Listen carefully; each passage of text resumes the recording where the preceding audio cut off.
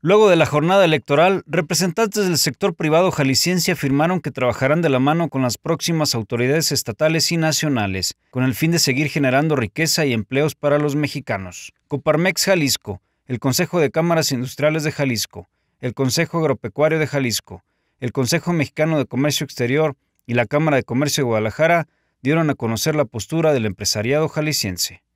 Para Noticel.mx, Luis Enrique Sánchez.